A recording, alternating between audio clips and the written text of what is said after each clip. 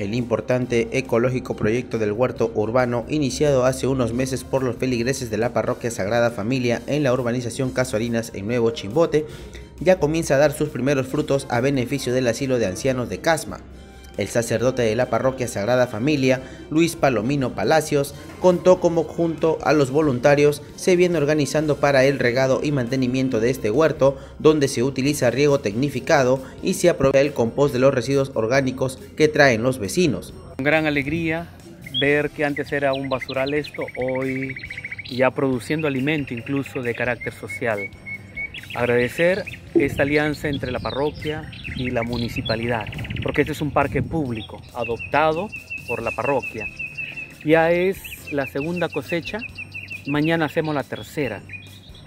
Eh, estamos cosechando lechuga, rabanitos, eh, un poco de beterraga mañana y luego en el futuro los tomates que vemos aquí, los tomates eh, y zanahorias que nos están quedando las coliflores todavía van a estar un poquito más de tiempo, eh, tal vez en un mes más puedan salir, ¿no? Pero da, da, alegría, esto es un huerto urbano, los feligreses de la parroquia por turnos, interdiario vienen a regar. Y cada sábado un grupo especial viene a regar también, ¿no? Y como ven, estamos debajo de una sombra de un arbolito que se plantó hace tres años también. Y da alegría que eso sea un parque ecológico ahora, ¿no?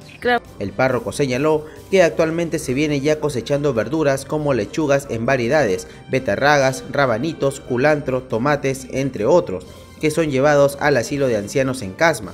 De que era un basural donde venían a dejar ah, residuos de las construcciones, desmonte, y la propia basura de casa venían lo dejaban aquí.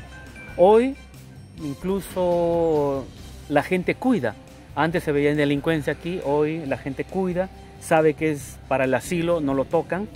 Incluso los mismos niños también ya se van educando del colegio yugoslavo y estamos en poco a poco, ¿no?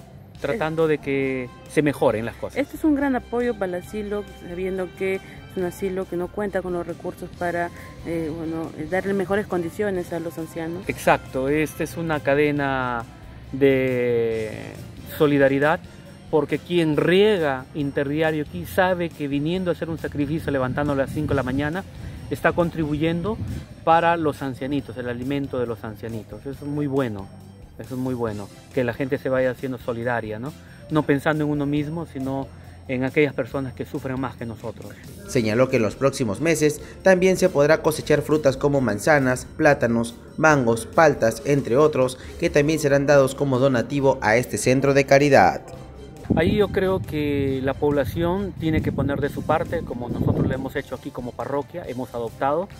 El señor alcalde tiene una buena disposición con todo su equipo técnico, ¿no? La gerente de medio ambiente, la señora Fanny, ella tiene toda la predisposición con asistencia técnica, como ustedes ven aquí el personal de la municipalidad, siempre está dando la asistencia técnica, y creo que hay que tocar las puertas del municipio y gustosamente les van a abrir las puertas como nos han abierto a nosotros de, cuidar estos parques, ¿no? ¿Se debería replicar en otras provincias también? Por supuesto, por supuesto, es fácil esto, solamente se necesita voluntad de hacerlo, pequeño sacrificio y ya está. Para mí es dónde queremos vivir, en medio de la basura o en medio de un lugar verde.